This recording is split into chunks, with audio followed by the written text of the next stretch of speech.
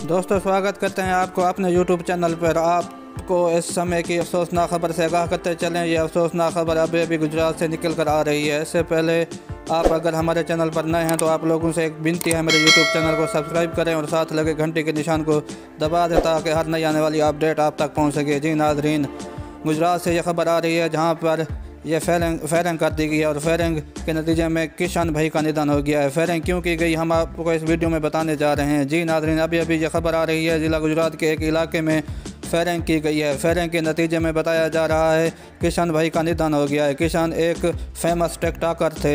बताया जा रहा है, यह फेरिंग किसी ज़ाती दुश्मनी की बिना पर की गई थी, जिसके नतीजे में किशन भाई की डेथ हो गई है।